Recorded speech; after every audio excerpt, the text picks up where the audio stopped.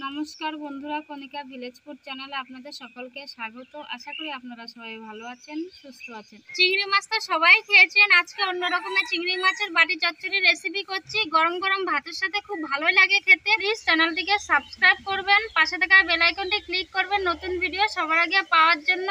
ভিডিওটা দেখবেন। বাটি চচ্চড়ি রেসিপিটা না হলে বুঝতে পারবেন না। চিংড়ি মাছের বাটি চচ্চড়ি রেসিপির জন্য যা যা লাগছে।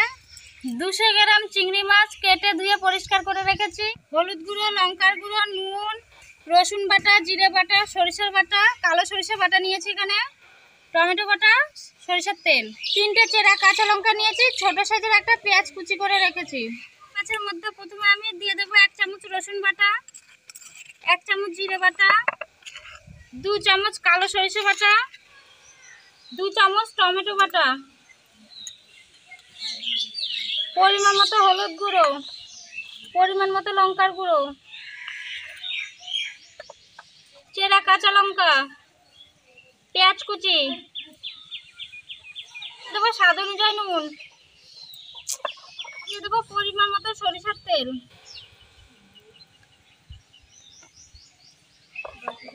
সব মশলাগুলো চিংড়ি মাছের সাথে ভালো করে মিশিয়ে নেব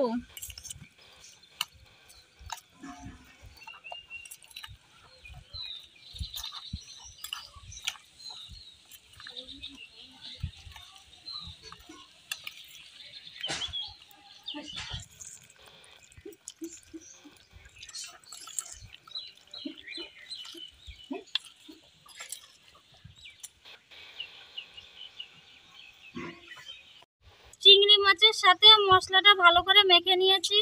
এবার আমি বাটিতে নিয়ে নেব। এখানে আমি একটা টিফিন কৌটো নিয়েছি।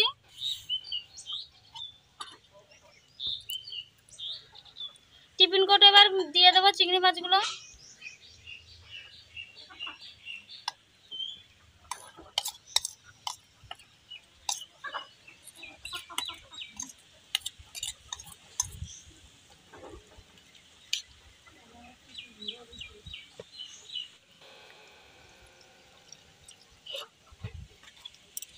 মশলার বাটি ধোয়া জলটা আমি চিংড়ি মাছের মধ্যে দিয়ে দেবো। চিংড়ি মাছ? হ্যাঁ?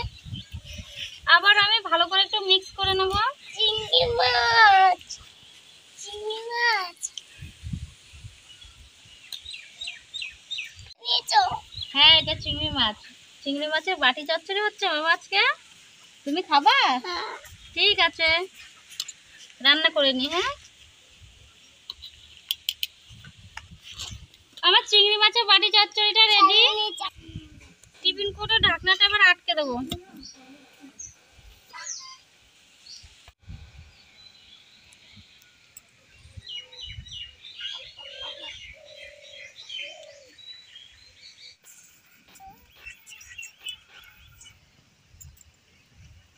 চিংড়ি মাছ ভাপানোর জন্য কড়াইতে জল দিয়ে দিচ্ছি।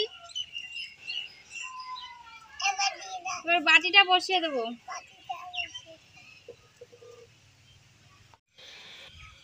এবারে থালাটা দিয়ে আমি চাপা দিয়ে দেবো টিফিন কৌটোটা।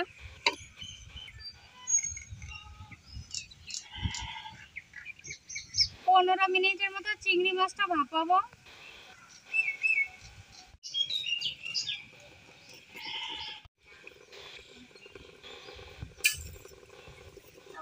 আজকে ডিম দিয়েছে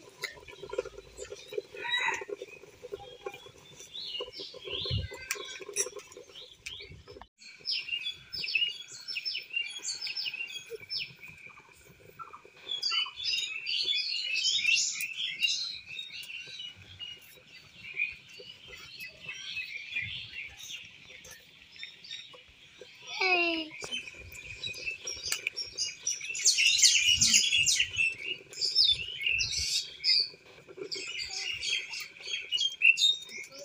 পনেরো মিনিট হয়ে গেছে এবার আমি চাপাটা তুলে নেব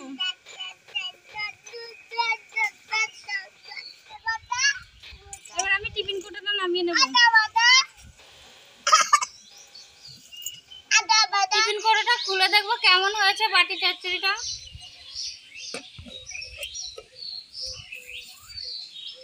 পুড়ে আছে তো। দেখুন কি সুন্দর কালার এসেছে আর চিংড়ি মাছগুলো ভালোভাবে সেদ্ধ হয়ে গেছে।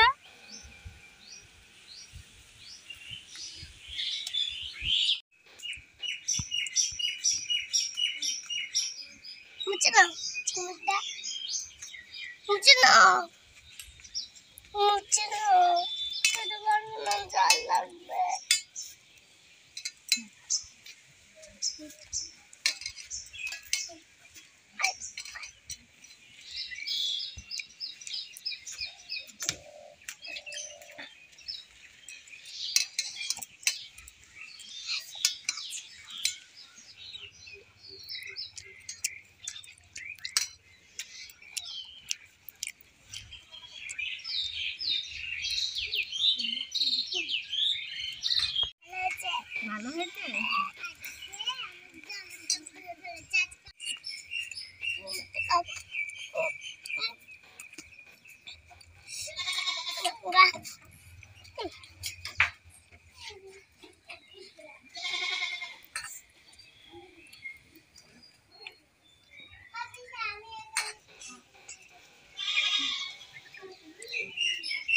চিংড়ি মাছের বাটি চচ্চড়ি রেসিপিটা যদি ভালো লাগে, অবশ্যই একটা লাইক করবেন কমেন্ট করে জানাবেন রেসিপিটি কেমন হয়েছে। এইভাবে আপনারা বাড়িতে বানিয়ে নেবেন বাটি চচ্চড়ি। ছোট থেকে বড়, সবাই পছন্দ করবে। আমার ছেলে তো খুব পছন্দই করেছে। চ্যানেলটি যদি ভালো লাগে, চ্যানেলটিকে সাবস্ক্রাইব করবেন। পাশে থাকা বেল আইকনটি ক্লিক করবেন। নতুন ভিডিও সবার আগে পাওয়ার জন্য আপনাদের সাথে দেখা হচ্ছে নতুন আরেকটা রেসিপি নিয়ে। ততক্ষণ সুস্থ থাকবেন, ভালো থাকবেন। ধন্যবাদ।